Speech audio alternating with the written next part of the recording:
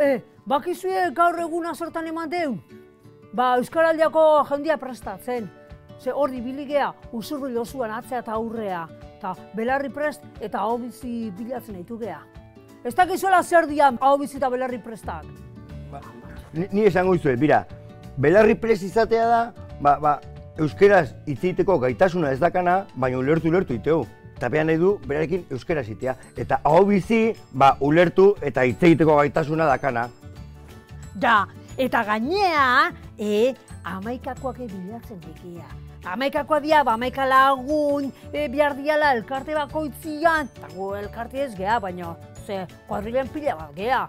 Eta gure artean amaikakoa osatzia badakau.